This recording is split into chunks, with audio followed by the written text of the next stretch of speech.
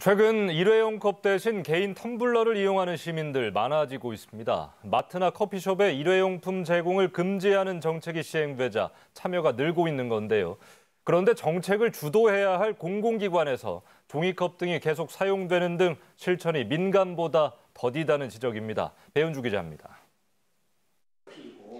지난 3일 울산의 한 공공기관에서 열린 간담회. 분홍색 포장지를 두른 플라스틱 물병이 종이컵과 함께 자리마다 놓여 있습니다. 공공기관에서 이런 간담회를 한다든지 회의를 할 때는 이걸 더 솔솔 수급해가지고 일회용품을 쓰지 않는 쪽으로 가야 되는 건데 나는 이렇게 들고 다닙니다 그냥. 한 시민단체 회원이 일회용품 중복 사용을 지적하자 한 의원은 사용하던 종이컵을 책상 밑으로 내려놓기도 합니다. 재활용 쓰레기 대란이 일어난 이후 지난 2018년 환경부는 공공기관 사무실에서나 행사를 열 때 다회용품을 사용하도록 하는 지침을 발표했습니다. 그런데 또 다른 공공기관 주간 행사에서도 여전히 일회용품이 쓰이고 있습니다. 사람 수마다 플라스틱 물병을 제공하는가 하면 건배사와 함께 종이컵을 들어올리기도 합니다.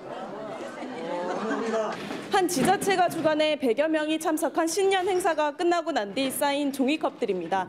이번 주에만 이런 행사가 15건 정도 열릴 예정이니까 이런 종이컵들이 얼마나 쌓일지 가늠해 볼 수 있습니다.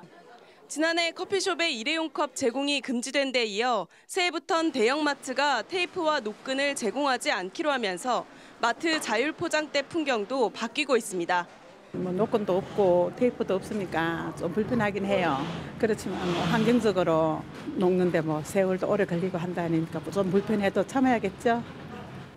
또 대형마트에서 먼저 주도를 하게 되면 그런 뭐 중소형 마트도 점차 따라서 이렇게 환경을 지킬 수 있는 정부가 추진하는 일회용품 줄이기 정책을 민간에서는 지키는데 공공기관에서는 안 지키는 모순이 일어나고 있습니다.